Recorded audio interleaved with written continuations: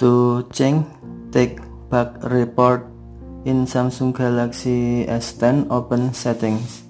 Swipe up or down home screen to access the app screen.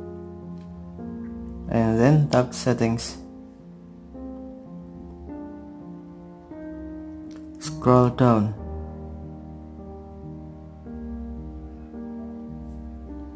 Tap developer options.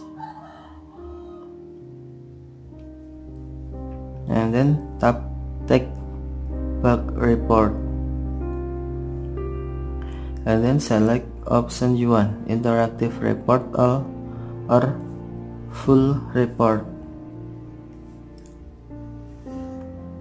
Use this under sorry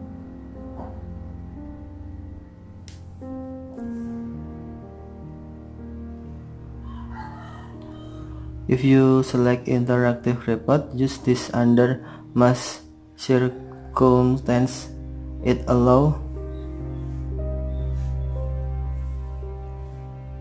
it allows you to track progress of the report. Enter more.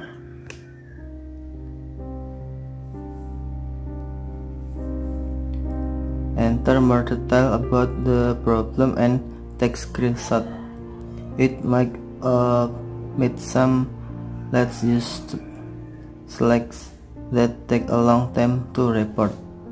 If you select full report use this option for minimal system interference when you device when your device is unresponsive or too slow or when you need all report section does not allow you to enter more details or take an additional screenshot and then tap report